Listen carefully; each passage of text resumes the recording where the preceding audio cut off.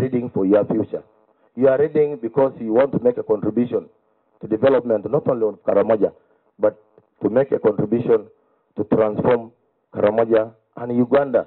The only thing I tell you, my friends, we are soon hedging out. And you should be the ones talking tomorrow from here. You can only do that through studies. In the half century of Moroto High School's existence, you have not only existed, but you have made a tremendous contribution to the community here and nurtured people who have served and continue to serve this country with distinction. Let me give a message to the students. Do not take the opportunity to go to school for granted. Maintain discipline and work hard, and always aim to excel.